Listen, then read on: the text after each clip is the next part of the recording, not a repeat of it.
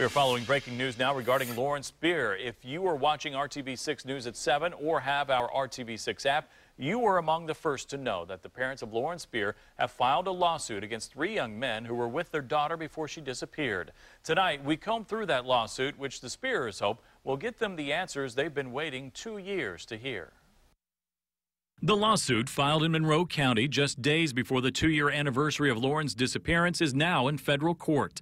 In the lawsuit, Robert and Charlene Spierer accused three young men, Corey Rossman, Jason Rosenbaum, and Michael Beth, of negligence resulting in their daughter's death. The Spierers allege that Rossman and Rosenbaum provided Lauren with alcohol at their residences and at the bar Kilroy's.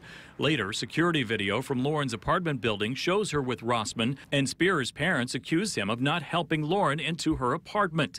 Instead, they say Lauren was so intoxicated, incoherent, and unable to properly function that Rossman was observed carrying her slung across his back less than a block from his residence. While the lawsuit acknowledges that both Rosenbaum and Beth became concerned about Spierer's well being later that night, they also accuse Rosenbaum of abandoning her in an intoxicated and disoriented state when he says he allowed her to leave his residence alone at 4:30 in the morning. In a statement from the Spierers lawyer, it's clear the lawsuit was filed to meet the statute of limitations. Attorney Jason Barclay wrote in a statement to RTV6 We intend to use the rights afforded by the civil justice system to obtain answers to questions that have gone unanswered for too long. Now, we reached out to the three men who've either not responded or declined to comment. We have the entire lawsuit on the IndyChannel.com. You can see it there.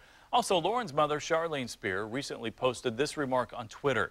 To those responsible, are you waiting as we are? Your day will come, searching with every breath until we find Lauren.